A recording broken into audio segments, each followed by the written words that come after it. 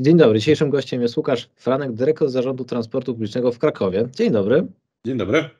Panie Łukaszu, jak pan się czuje jako architekt i spiritus movens pierwszej w Polsce strefy czystego transportu? To by było zbyt, e, zbytnie uproszczenie, bo to jest praca e, naprawdę sporej ilości osób e, i przez ostatnie miesiące zespołu w Zarządzie Transportu Publicznego, który wypracowywał w konsultacjach społecznych, w spotkaniach, przeglądając doświadczenia z innych krajów, sprawdzając przepisy polskie, więc no naprawdę ogromna praca, która trwała de facto kilkanaście miesięcy. Wsparcie trzeciego sektora, NGO-sów, e, wsparcie też e, ze strony e, naszego wiceprezydenta Kuliga, który prowadził te tematy i, i, i motywował nas do pracy, więc trudno pokazać na jednej osobie, że to jest czyjeś zasługa, bo tak naprawdę finalnie e, naprawdę ten temat e, wypracowany został przez całą grupę osób, ale bardzo się cieszymy, że, że udało się ustanowić, aczkolwiek to jest optymizm ostrożny, bo po pierwsze każdą uchwałę można jeszcze podważać. E, wiemy, że też jest w tej chwili skarżona e, przez, e, przez trzy osoby, więc na razie cieszymy się z tego pierwszego kroku. Cieszymy się też bardzo z bardzo trudnej, ale merytorycznej rozmowy na rady, na, w trakcie Rady Miasta Krakowa. To naprawdę była E, mam nadzieję, że scenopis zostanie zachowany i, i, i, będzie można do niego wracać, bo to był trudny, to jest trudny temat. To jest tak naprawdę spora zmiana dla, e, dla wielu osób. Zmiana, której oczekujemy, zmiana, przez którą musimy wspólnie przejść, e, ale ważne, że była bardzo merytoryczna rozmowa, bardzo takie konkretne postulaty. Nie było takiej chęci wyrzucenia tego w ogóle jakby przez okno czy do kosza, mówiąc, mówiąc kolokwialnie, więc to samopoczucie pod tym względem jest bardzo e, optymistyczne, że, że ten proces e, udało się dokończyć, udało się przeprowadzić również dyskusję polityczną, udało się wprowadzić zapisy, które naszym zdaniem są optymalne. Mam nadzieję, że tak będzie dalej, że, że to się gdzieś nie, e, nie potknie o jakieś formalności, skargi czy też kolejne dyskusje. Wiemy, że początki nie były łatwe. Strefa 2.0 powstała na bazie złych doświadczeń z relacji stref czystego transportu z 2019 roku, która została oprotestowana. Czy mógłby Pan wymienić trzy lekcje, które Pan wyciągnął z tamtych doświadczeń, zyskanych doświadczeń? No i czy to może pomóc te doświadczenia, które Pan zyskał, innym samorządom w przyszłości? Każde doświadczenie uczy, na pewno. Natomiast ja zawsze polemizuję z tym, że e, to były złe doświadczenia. Moim zdaniem one były jak najbardziej pozytywne. To znaczy, e, strefa na Kazimierzu 4 lata temu to był początek e, drogi, do jakiej doszliśmy teraz w listopadzie 2023, ponieważ mm, udało się po pierwsze odpowiedzieć na sporo ważnych tematów, udało się rozpocząć w ogóle też dyskusję um, publiczną i um, rozpocząć współpracę z, z, wieloma jednostkami, z, z stowarzyszeniami, tak, z, e, z instytutami takimi jak ICCT, który nas wspierał na początku tej drogi, żeby zdobyć dane do dyskusji. Tak? Więc e, tak naprawdę, gdybyśmy wtedy tego kroku nie zrobili, e, to e, w momencie, kiedy rozpoczynaliśmy pracę już nad e, strefą 2.0 w grudniu zeszłego roku,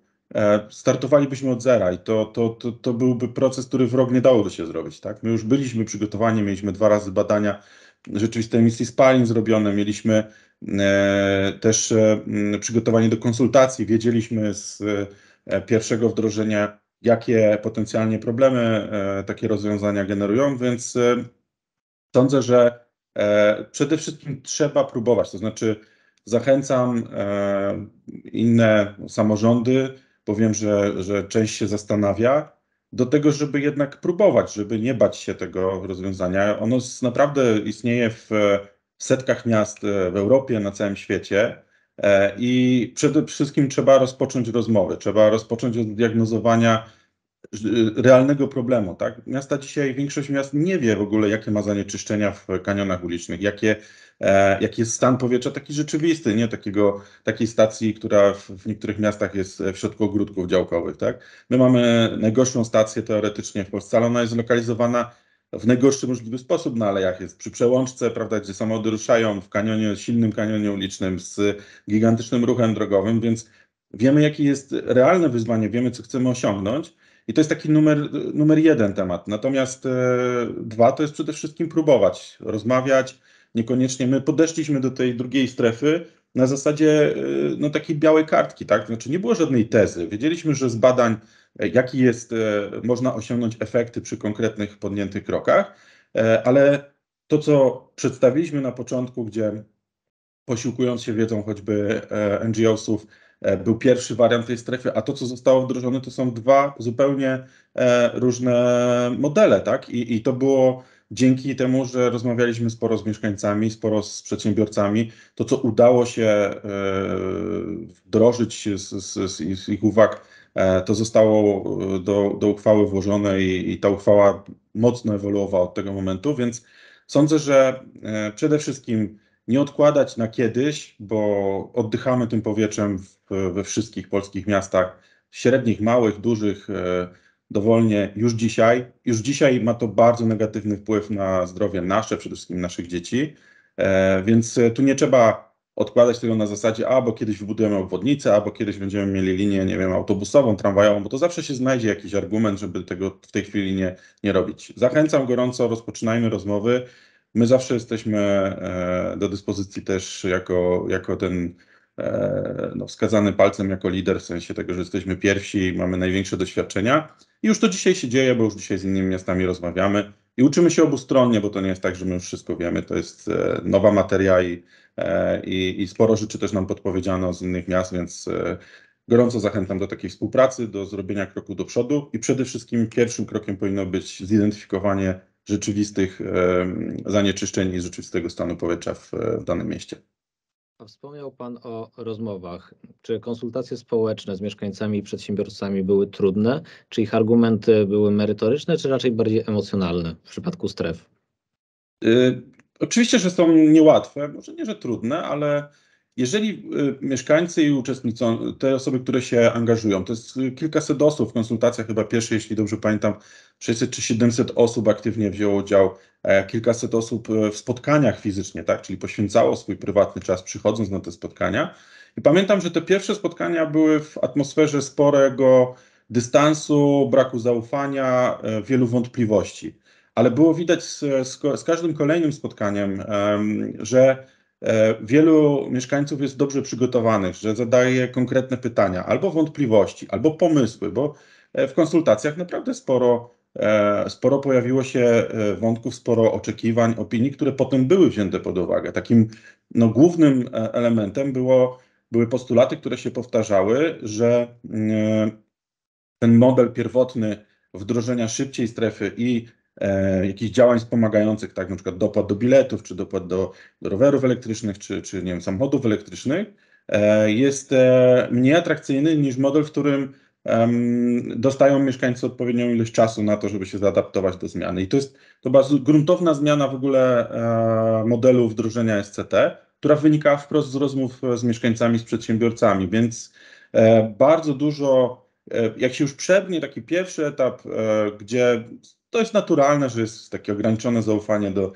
mm, e, do miasta, do, do, w ogóle do sektora publicznego. Tak? Mieszkańcy tak trochę podchodzą z rezerwą, e, że, że być może te konsultacje to są tylko takie, żeby odbyć i, i nikt ich nie posłucha, ale jak potem widzą, że po pół roku, po tych spotkaniach w zapisach uchwały pojawiają się te wątki, o które e, postulowali, no to to zaufanie myślę wzrasta i, i jest to później taka obopólna, e, obopólne zwycięstwo w tym sensie, że, że można wdrażać, można kontynuować, można rzeczywiste e, osiągać efekty. Więc e, trzeba takie konsultacje na pewno, też się ich nie bać, na pewno są na początku trudniejsze, ale jak się jest fair i, i rozmawia się, to, to one stają się bardzo mocno merytoryczne i, i pomagają wdrożyć później i budować.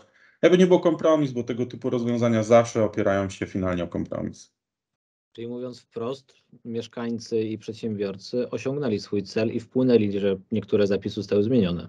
Tak, ale to oczywiście byłoby nawyroz mówiąc, że wszystko, tak? Bo są, e, to, to jest tak, że mm, zdecydowana większość, i to, to też w sondażach się pojawia, czyli co do zasady mieszkańcy mówią tak, chcemy ograniczyć, e, mieszkańcy w Krakowie oczywiście, ale chyba w innych miastach jest podobnie, chcemy ograniczyć tą emisję z transportu drogowego, chcemy po prostu oddychać czystszym powietrzem. No kto by nie chciał, tak? To jest na logikę nawet. Rozumiemy, że to są szkodliwe substancje i, i, i nie chcemy nimi oddychać, no ale oczywiście jest tu i teraz. Jest e, wojna, jest kryzys ekonomiczny, jest, e, wychodzimy z pandemii, e, jest e, tak dużo czynników, które budzą niepokój, strach o przyszłość, że trzeba to brać pod uwagę. To znaczy nie można w oderwaniu od tego cokolwiek proponować, bo, e, bo, bo zdrowie jest ważne, ale, ale życie też codzienne, to, to społeczno-ekonomiczne aspekty są nie mniej, nie mniej ważne. Dlatego też ten e, element był wprowadzony tego kompromisu. Ok,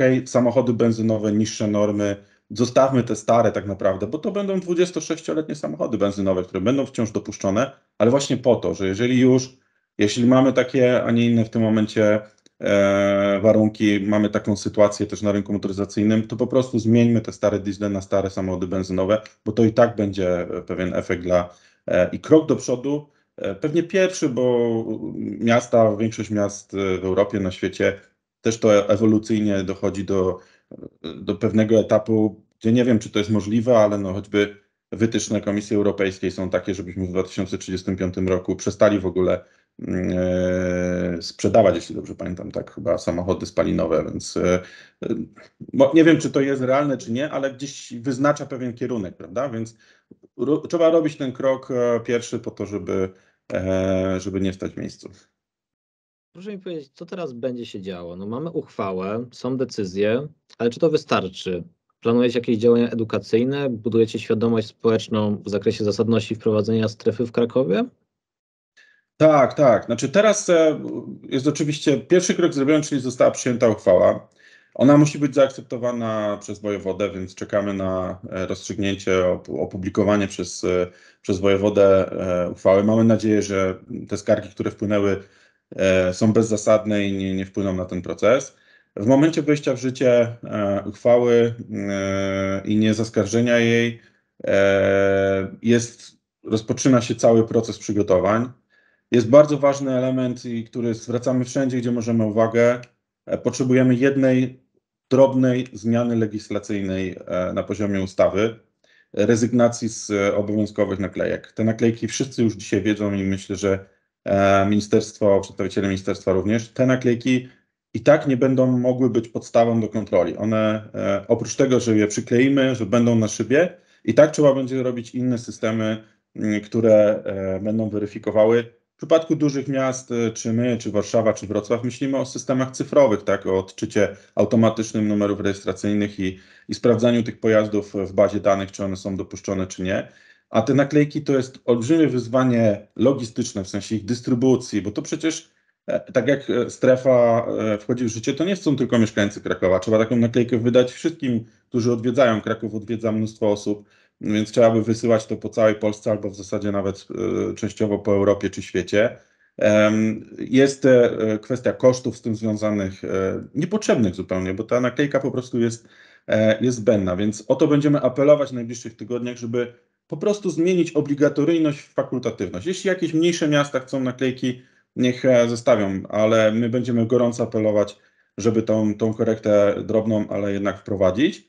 E, I e, musimy zbudować bardzo dużą kampanię informacyjną, bo dzisiaj jest spory wciąż chaos. Staraliśmy się mm, przygotować odpowiednią ilość informacji. To tak przeglądając media, dużo udało się już skorygować ten mit o tym, że strefa jest, nie wiem, tylko dla samochodów elektrycznych albo że E, w ogóle zakazuje wjazdu, udało się obalić, ale wciąż um, sama kwestia, co to są normy euro, czy mój samochód spełnia, czy nie, to jest jeszcze mglista sprawa dla większości osób, więc musimy nad tym mocno pracować.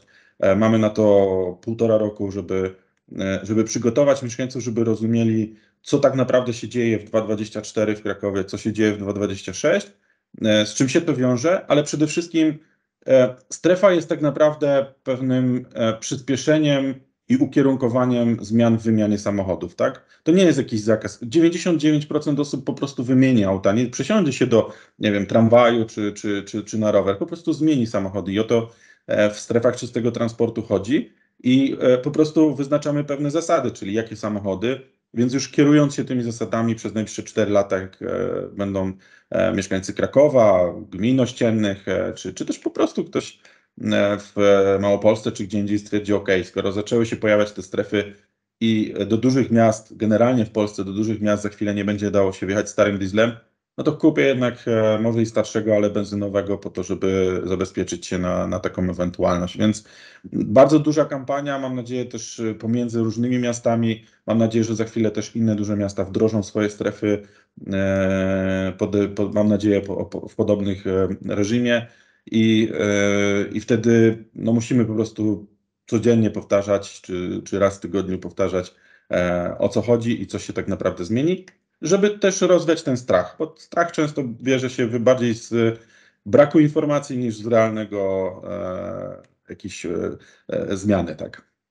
Biorąc pod uwagę to, że przepisy w pierwszej fazie będą dosyć łagodne wbrew pozorom, to i tak wpłyną na pewną grupę użytkowników pojazdów, którzy mogą nie chcieć po prostu zmienić pojazdu na nowszy z różnych przyczyn. Czy może to spowodować pewnego rodzaju wykluczenie komunikacyjne? Na pewno trzeba podzielić to na e, trzy grupy w przypadku naszej strefy krakowskiej. Mamy mieszkańców Krakowa, mieszkańców obwarzanka, jak to nazywamy, czyli e, obszaru aglomeracyjnego i powiedzmy obszar, e, pozostali mieszkańcy województwa, czy, mm, czy przy odwiedzający turyści, czy, czy inne osoby przyjeżdżające, no bo jednak Kraków jest miastem e, o specyfice mocno odwiedzanym, tak, e, przez, przez turystów, przez inne osoby, biznes, inne, inne sprawy, więc na pewno największym wyzwaniem no to są e, jakby im dalej od Krakowa. Tak? Wiadomo, że zamożność też, e, to z wszelkich danych ekonomicznych wynika, zamożność mieszkańców Krakowa czy gmin ościennych jest znacznie większa niż w skali na przykład województwa, tak, miejscowości po, po, poza tym obszarem. Więc trudniej jest pewnie zaadaptować się do tej zmiany, ale to, co powtarzamy cały czas, jeżeli mamy zmienić ten samochód, to jeżeli dzisiaj mamy normę, mówimy o tej normie Euro 3 benzynowym samochodzie, to jest samochód, e, z którego ceny zaczynają się e, obecnie około 4 czy 5 tysięcy złotych, tak? Więc to jest jakiś przedział 4-5 do 10 tysięcy. Zakładamy, że ktoś dzisiaj jeździ starym dieslem, który jest warty podobną kwotę, 4-5 tysięcy, może, e, może 1000-2000 tysiące więcej. Więc ta zmiana nawet jeśli nie jest jeden do jeden, to ona nie jest bardzo uciążliwa. To nie jest jakaś inwestycja 10, 15, 30 tysięcy złotych e, w inny pojazd, tylko, e, tylko jest to po prostu wybór zamiast diesla benzyna. Na szczęście cena diesla też sprzyja, bo jednak e, droższe złotówkę na stacjach benzynowych może być dodatkowym powodem. Więc natomiast jeśli ktoś nie chce, bo nie chce, bo ma samochód taki, taki mu się podoba, woli diesle, no to jest już świadomy wybór, tak? I no, to jest trochę tak, jak wprowadzaliśmy kiedyś przecież zakaz palenia e, papierosów e, w lokalach, tak? Gastronomicznych. No i e, no jak ktoś nie chce, nie, nie adaptuje się, no to musi się dostosować, tak? Po prostu musi palić na zewnątrz. Tu tak samo, jeśli ktoś chce jeździć samochodem, który nie spełnia tych norm, no to musi się liczyć z tym, że do, mm, w perspektywie kilku lat do większości dużych polskich miast, bo sądzę, że to będzie pewien proces, nie zatrzyma się na Krakowie, tylko większość dużych miast po prostu w, będzie wdrażała, e, no po prostu będzie musiał zostawać na rogatkach, będzie musiał dojechać pociągiem, autobusem w inny sposób, e, jaki chce. Niestety, no nie ma po prostu innego wyboru. A biorąc pod uwagę właśnie tą grupę użytkowników z gmin ościennych, którzy no, nie zdecydują się na wymianę samochodu, czy ewentualnie prefer będziecie chcieli wprowadzić dla nich e, większą liczbę parkingów park and ride albo zaoferujecie preferencyjne zasady poruszania się po mieście komunikacją miejską? To już się dzieje tak naprawdę, bo mm, po pierwsze cały węzeł kolejowy kończy się jego przebudowa, po którym e, pełną parą ma ruszyć kolej aglomeracyjna, dając w tych głównych korytarzach e, czy od Katowic, czy od Tarnowa, czy od południa od strony Kalwarii Zebrzydowskiej, e, Zakopanego, czy od północy możliwość dojazdu do miasta sprawną, co, co około pewnie 20-30 minut pociąg, którym możemy dojechać w bardzo dużo nowych miejsc w mieście, bo nowe przystanki kolejowe też powstają. Tam, gdzie nie ma kolei, my już od ponad roku wdrażamy tak zwane nagle ekspresy, takie szybkie linie autobusowe z częstotliwością co 15 minut. E, pierwszych, e, jeśli dobrze liczę, 4-5 linii funkcjonuje. E, zachęcamy gorąco gminy ościenne i myślę, że też SCT będzie jakimś dodatkowym impulsem, żeby to stworzyć całą sieć, żeby to było tak, że autobusem wyjeżdżając E, nie wiem, z Kryspinowa, tak, e, można było dojechać w kierunku centrum, przesiąść się i pojechać pociągiem dalej, jeśli do Huty, jeśli to jest taka podróż. Więc e, na końcu jeszcze jest temat, który obecnie procedujemy. Jesteśmy, no mam nadzieję, że się uda dopiąć, czyli integracja taryfowa, żeby ten cały system funkcjonował w jednej taryfie, czy to jest pociąg, czy autobus wojewódzki, czy autobus miejski. Oczywiście, że to jeszcze trzeba zintensyfikować pracę nad ofertą. Przede wszystkim, żeby tych autobusów i pociągów było najwięcej jak się da, żeby, żeby ta częstotliwość była wysoka. E, I sądzę, że, że w tym kierunku to zmierza. Tak samo park and ride mm, skupiają się czasami komentatorzy na Krakowie, ale kluczowe park and ride są w obszarze metropolitarnym. I tu powstają takie obiekty jak Skawinie, prawie pół tysiąca miejsc parkingowych, jak w Krzeszowicach niedawno otwarty. I praktycznie przy każdym E, przystanku kolejowym w tym momencie powstaje jakiś e, mniejszy lub większy park and ride. Powstają przy naszych Agroexpressach, przykład w Michałowicach taki park and ride przy drodze krajowej obecnej, e, z którego odjeżdża autobus co 15 minut, więc ta, ta oferta naprawdę się zwiększa i oczywiście my musimy ją utrzymać, a wręcz jakby ten rozwój jeszcze zintensyfikować. Tak, żeby rzeczywiście, jeśli ktoś e, jednak nie chce wjeżdżać e, samochodem, to, to i tak musi powstać, bo bez względu na to, co, e, czy jakim samochodem będziemy wjeżdżać, Kraków nie jest już w stanie przyjąć aut więcej. To już jest urbanistycznie po prostu zatkany obszar w, w, w, w tym centrum, więc i tak po prostu jedyną alternatywą jest transport zbiorowy, a wewnątrz miasta dodatkowo rower, bo po prostu tych samochodów już nie ma gdzie upchać. Wspomniał Pan o badaniach e, emisji. Czy mógłby Pan powiedzieć, jak wpłynie strefa w okresie krótko i długoterminowym? Um, to są takie pytania niebezpieczne z punktu widzenia odpowiadającego. Myśmy te pytania, te same pytania zadawali w ostatnich e, miesiącach czy latach wręcz do ekspertów zajmujących się tym, tak jak ten Waszyngtoński Instytut ICCT, który nas mocno wspierał w przeprowadzeniu badań i, e, i, i też zadaliśmy pytanie, E, to o, co powiedzieć mieszkańcom na przykład, o ile poprawi się stan powietrza, a oni nam odpowiadali, to jest, nie odpowiadajcie w ten sposób, znaczy to jest trudne do oszacowania, a będziecie chwytani za słowo, bo jak powiecie, że nie wiem, poprawi się, spadnie, prawda, o 10-20% zanieczyszczenie, bo um, zanieczyszczenie jest bardzo mocno skomplikowane, w sensie to, co na stacjach już badających poziom zanieczyszczenia powietrza jest pokazywane, to jest zależne bardzo często od wielu aspektów, tak? E, powietrz, e, temperatury, e, wiatru, innych rzeczy, ciśnienia, tak? I jakichś lokalnych jeszcze źródeł innych. Jedno jest pewne, nie ma przykładów, żeby wdrożenie strefy nie pomogło, tak? Czyli żeby się nie poprawiło. Ja widziałem wyniki chyba z Lizbony, gdzie też niższe progi były wyznaczone a e, efekt został osiągnięty, czyli na stacjach poprawiła się jakość powietrza. I czy to będzie 10, 20, 40%, no to to się okaże, tak? bo to jest kwestia tego, na jakie auta zmienimy, e, te najbardziej szkodzące, e, jak się będzie zmieniał, ile osób mimo wszystko będzie się przesiadało do transportu zbiorowego w najbliższych latach, jak się będzie zmieniała w ogóle mobilność ludzi. Więc nie, nie, nie będziemy się o to e, w takim e, kusić, żeby, żeby takie dane podawać. No, ja mówię, że moim zdaniem powinniśmy e, docelowo osiągnąć na stacjach komunikacyjnych wartości zgodne z normami. Jeśli dzisiaj na alejach mamy poziom rzędu 60-70 mikrogramów, jeśli chodzi o tlenki azotu, dwutlenek azotu, a norma jest 40, to dążmy przynajmniej do osiągnięcia normy. Tak? Ona i tak jest wysoka, ale to jest jakiś punkt, punkt odniesienia, jakiś kamień milowy, jak osiągniemy, to potem się zastanawiamy, czy powinno być jeszcze mniej. E, I, I, liczę gorąco, że zrobimy spory krok e, w tym kierunku.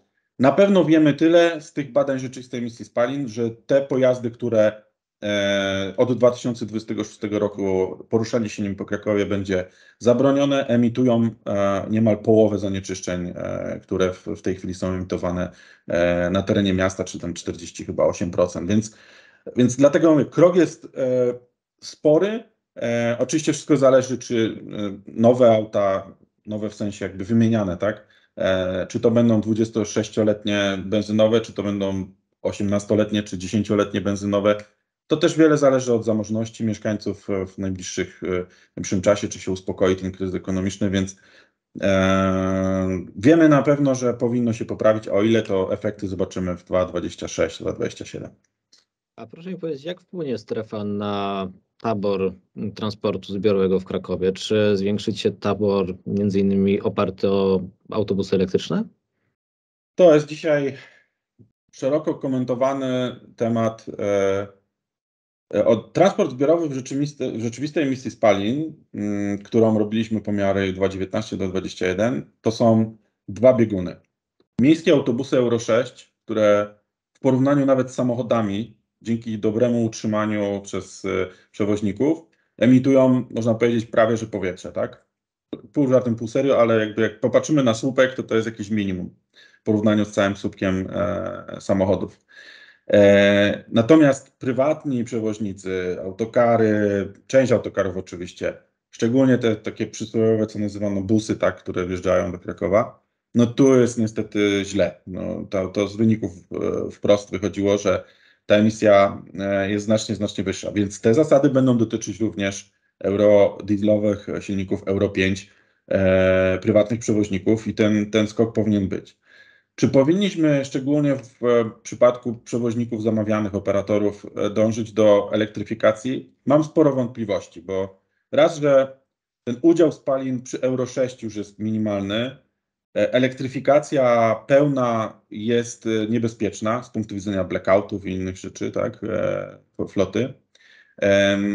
Dzisiaj prąd no, nie jest najtańszy i pytanie, co dalej. Takie, można powiedzieć, E, strategiczne pytania, tak? Dzisiaj nikt nic nie wie, czy my powinniśmy rozwijać dalej w oparciu o prąd. No, jak rozmawiam e, z, z przedstawicielami zarządów transportu w Europie, nie wiem, z Wiednia, no to oni idą w wodór i w elektrykę, ale oni mają mnóstwo energii odnawialnej, tak? Mnóstwo wiatraków, e, elektrolizę, którą do wodorowych autobusów robią też w oparciu o odnawialne źródła. No my dzisiaj E, przerzucamy w, stronę prawda, elektrowni, które, które też e, swoje dorzucają do atmosfery, więc e, na pewno będziemy i Kraków dąży do tego, żeby ta flota była jak najczystsza i, i to, co się porusza w tych kanionach ulicznych, też to jest ważne, e, powinna być zeroemisyjna.